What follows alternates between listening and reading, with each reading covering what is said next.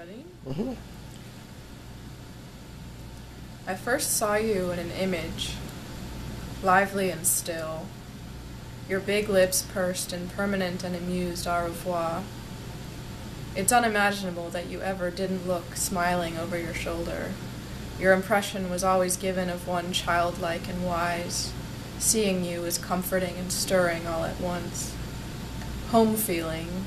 I know this place, this woman, but she might be different from the last projection, the deception of mirrors, my animal woman. But this, you were no secret, woman love teasing and ever out of reach. I loved you desperately as a vision of myself I'd never be. And even though I never met you, a thought of you emerges every day. Somehow I dreamed of your eyes, they were like mine. I heard that the people in our dreams are projections of ourselves, and I wondered which of me you were.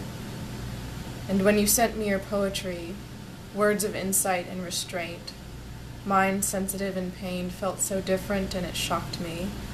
The realization of difference was relieving. I was not in your shadow, and I loved you more. And when I heard of your death, it was strange to have felt so much in little of you. Grief didn't strike me hard when I first read of your overdose, but nothing shakes this weight off now. I am haunted with my hyper awareness of you as I watch others scoop out pieces of your dried heart and prize them, immortalizing false synecdoches. So it's hard and fascinating to read about you in the magazine in someone else's voice. I knew that no one knew you. I knew that you liked the wanting to be known. You liked to be wanted. You didn't want to be known.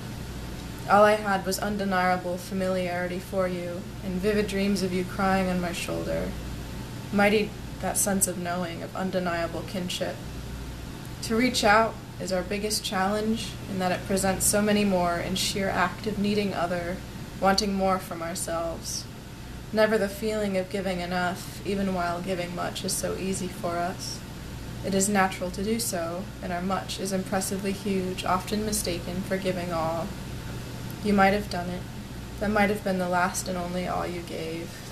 What we both yearned for might be solidly alone in one action, one big, pulsing, warm heart shared with totality and no expectation of return. so that was really long.